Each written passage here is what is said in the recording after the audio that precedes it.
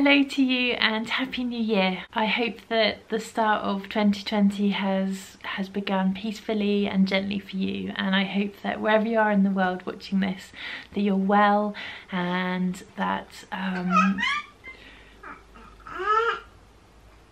and that the year has begun in a positive way for you. Um, I want to thank you from all, from the bottom of my heart, for the really warm reception that you gave to me with my return to podcasting in my last episode. I shared elsewhere that I had been feeling quite rusty and quite nervous when I sat down to podcast um, or to film the podcast sections um, the last time. And I think it, when I watched myself back, I could tell it, at times I was a little bit nervous, but to know that so many of you appreciated what I put out and to have read your kind words um, of encouragement and support was so heartwarming and I'm really really grateful for everybody who took the time and the trouble to write to me. Um, as I talked a little bit in my last episode, last year was full of ups and downs with some really positive um, times but also some really difficult times and it is has just continued to be so encouraging for me to have such a swell of warmth and support and kindness from people all around the world um, many of whom I, I doubt will ever meet in person. Um, but to know that you've come to join me um, for a, a, short time together it it's really uplifting and I'm so excited to begin this new year by um, feeling a a return of um, of creativity and wanting to tell the stories related to my creativity. So I'm looking forward this coming year to experiment and explore um, this medium of podcasting. I don't know how frequently I'll be able to produce a podcast. Um, I don't want to set myself any unrealistic goals because I have my health to look after, which is still um, still not great, but getting there slowly. Um, and obviously there's my children and my um, different uh, responsibilities at home. Um, you can probably hear I've got my little my little sidekick again today, um, who since we last um, spoke has started becoming that bit more mobile she's on the verge of crawling, which is quite a shock as her big brother never crawled anywhere. So uh, yeah, I think um, having the podcast to come back to also is helping me to feel more at peace with giving Woollen Hearted a slight change of direction in view of the changes to my family circumstances and to my health and everything. So I'm I'm just so grateful for your kind support and I really look forward to the weeks and months ahead as I'm going to be sharing some of my making with you.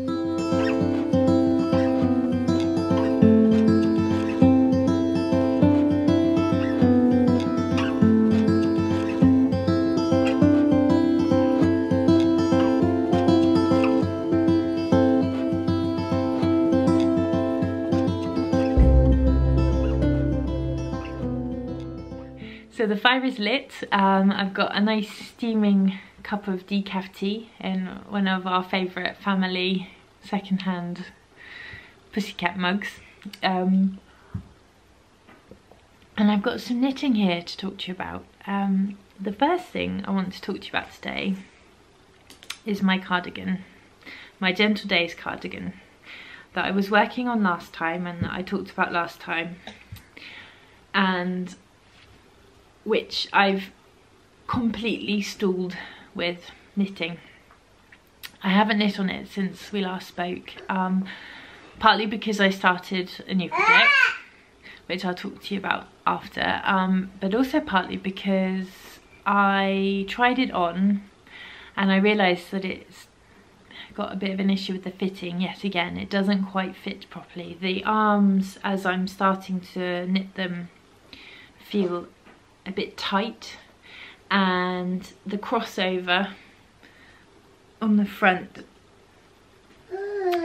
is gaping quite a lot. I did measure myself um, before casting on the second time, but um, as I'm still nursing, I'm starting to realise that there's fluctuations uh, in the size of my bust during the day and it seems to be gaping and I'm a little bit unsure now whether I want to continue with this knit because it's a lot of work to to continue. I'm in some ways I'm very near the end. i have almost completed the bottom um, the bottom section and I know that if I were to sit down I could get the sleeves knit up in a fortnight um, but I'm just not sure what to do. The other thing is, is I had a little break from it because all of a sudden I found myself needing a break from grey. Um, I have almost exclusively only worked in natural sheep colours in the last 12 months um, in both my knitting and my spinning and although grey is probably one of my favourite colours um, all of a sudden just to have this sea of grey garter stitch on my lap I've just felt quite uninspired about it and I think had I've been certain that the fit were going to work I would feel more encouraged to continue so I've given that a little break and I'm going to give myself another week to have another break. I'm going to try and fit it again at two different times in the day to see whether um, see whether that fit improves but I don't really want something that's going to be gaping open because the point the whole point of this cardigan is to have something to keep me warm something that i find really amazing about being a maker of uh, knitted items crocheted items or sewn um, garments is that we have this um, power to make the garments fit our bodies exactly. We don't have to just rely on shop bought um, off the peg items that may be ill-fitting around the bust or ride up a bit or not be the quite the right um, quite the right fit on us. It's why I'm hesitating now to continue with this project because I really want the fit to be perfect and reflecting on it over the last couple of weeks where I've been giving it a little break I've realised that I've got this great motivation to knit garments at the moment and I think I have the headspace as well um, because the two children are generally in bed quite early in the evening and there's more or less often a couple of hours um, in the evening if I'm not too tired where I can sit and knit and sort of be quite concentrated. Um, but as much as I would like to cast on um, some jumpers and some cardigans for myself, I think that it would be better for me to concentrate my efforts on things for myself into smaller items and accessories, so socks, gloves or mittens, scarves, shawls, hats, things that um, will be less dependent on my body shape changing. And instead I would like to um, spend the motivation I have to knit a garment to finally get around to knitting um, a jumper for my partner um, I've promised him a jumper for quite a few years now. I think it's five years ago I bought the wool um, and I did originally cast on um, a jumper for him and I knitted him all the pieces of, I think it's called the Papa Bear sweater. You can find the pattern in Clara Parkes' The Knitter's Book of Wool. And I cast it on the year uh, I cast it on in the year after our son arrived and knitted on it diligently throughout the months um, but had to keep stopping and starting putting it down and a needle got broken and um, I knitted the two sleeves at separate times and the up and the short of it was that when it came to assembling the pieces after they'd been washed and blocked they didn't fit properly and so I unravelled it. I washed the wool got the crinkles out and reballed it up and it's sat there waiting. So I'm just wondering whether to fully rip this one back, um, do the same with the wool, give the wool a good wash um, because as I mentioned last time it's full of spinning oil and it's not very pleasant to work with. Um, and give myself a little break and then cast on um, something for my husband. the other reason I think this project has been stalling, um, as I mentioned slightly earlier on, was I'm just finding the grey a little bit monotonous um, at the moment. Um, and I've been really craving some colour and I also partly have been wondering whether when I have um, when I have unravelled this jumper to skein um, skein the remaining yarn up. I've been um, wondering whether to skein the yarn up into 50 gram hanks and then experiment if and when I have the time, um, with some natural dyeing on it because I have heard that if you over dye grey with yellow, so in my case I would use weld, you can get green. And um, at the moment I'm really craving green. Um, I I think becoming a spinner um, really helped me to embrace the grey, the whites, the, the dark browns and blacks um, of the natural sheep colours. And those will always be colours that I really am drawn to. Um, but I've got a lot of grey in my wardrobe at the moment and perhaps it's something to do with um, with spring um, and um, we were up um, having a lovely winter's picnic a couple of weeks ago in the sun and I just wandered off on my own for 10 minutes and sat on the side of the mountain and looked around me and I was just overwhelmed with the with the with the color palette that there was. There was the the browns of the of the uh, of the ferns that are all dried out that makes the hillside a kind of rusty brown. There was it and the other the, the rocks and then the white of the snow glistening on the mountains. But there was the the deepest blue of the there was the the light blue of the sky that was in summer here in in winter here on a sunny day the sky is just so incredibly blue.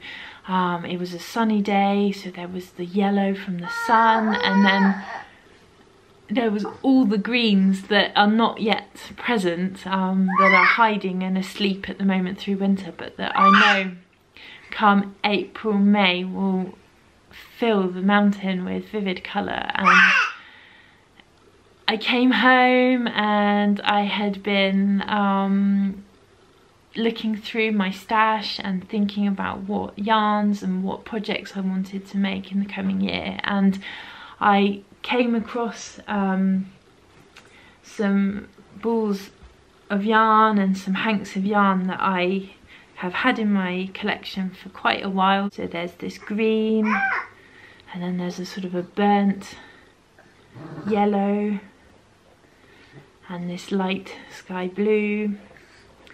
And then there is a very light grey and a sort of dirty white.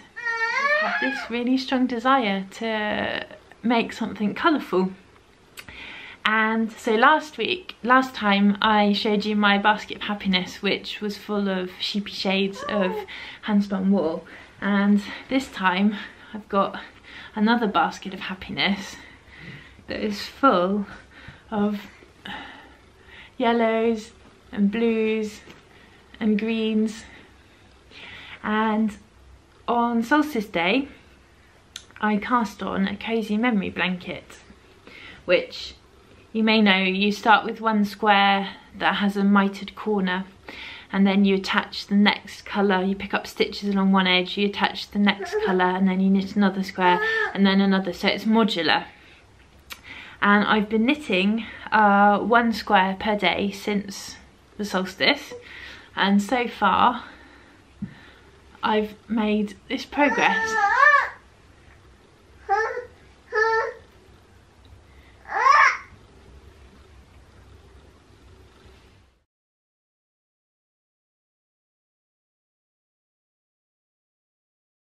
Hello again.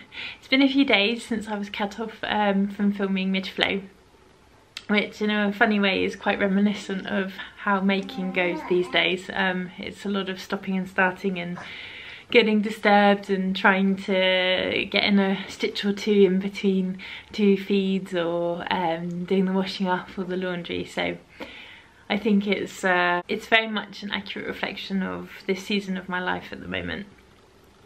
Anyway, that uh, little break has given me the chance to complete um, the row on the blanket that I was working on. So I now have a square of 5 by 5 and I was just about to start talking about the wools I'm using. So usually with a cozy memory blanket, the idea is that um, you use up oddments or scraps from leftover projects, most normally um, sock yarn I think. And I'm not at the moment um, in my life a great sock knitter. I have been in the past, but I haven't knitted that many socks for quite a long time. So I don't really own any sock yarn, um, whether that be in full balls or um, in leftovers. So I instead decided to um, dive deep into my stash and seek out um, some two-ply um, fingering weight yarns that I had there. So I have a mixture of French and British yarns. Um, these are some British wool from Brittany, which is where we lived last year and I love it because they they use the um, the Breton names for the colours. So this is Mélène, which means yellow. And then interestingly, these two, the blue and the green, are both glas because in Breton they don't distinguish between uh, blue and green. They use the same word for both colours. So I also have um, another wool from Brittany, which is um, from Bouclaine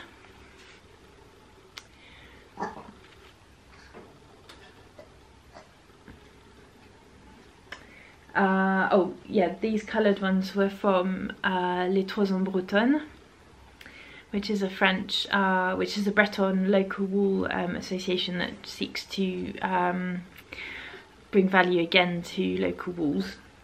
And then I've also got some off-white, uh, so a tiny bit of grey mixed in, and this is from Ardelaine.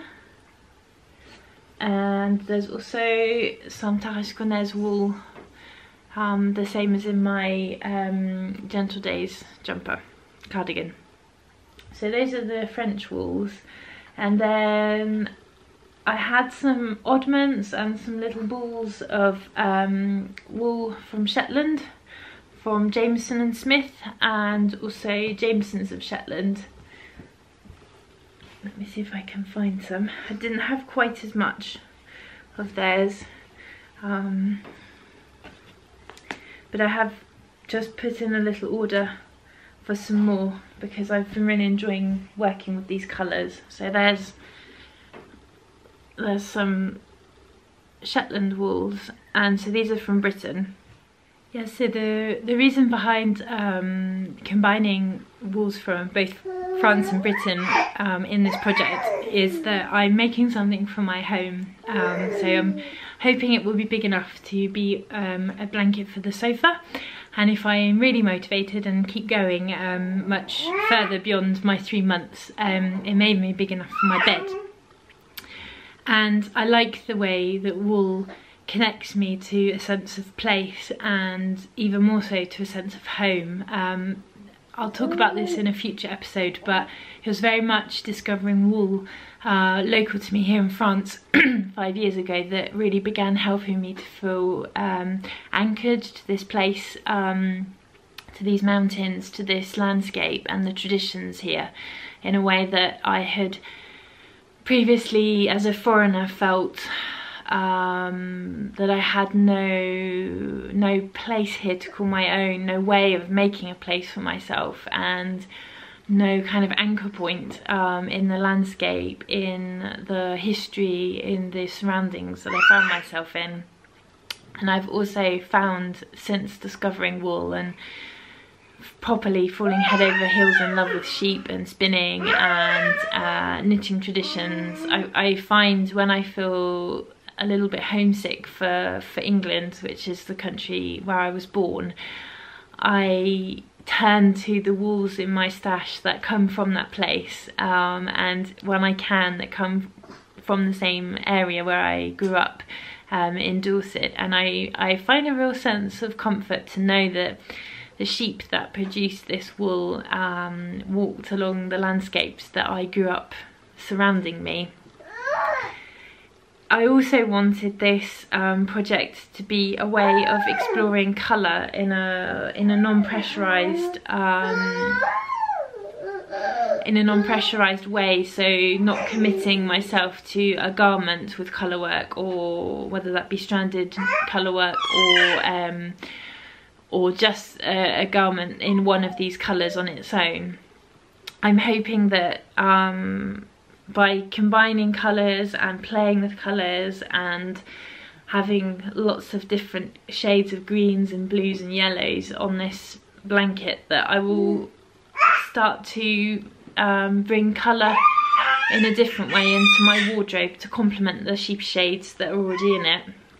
And I'm hoping that um, I'll be able to begin perhaps by knitting myself a shawl or a hat with some colour in it, um, inspired by this blanket. So yes, I'm looking forward to seeing how this exploration of home and colour and feeling at home in colour and feeling at home where I am um, unfolds over the coming months. And I'll be really looking forward to sharing with you my progress next time um, we meet.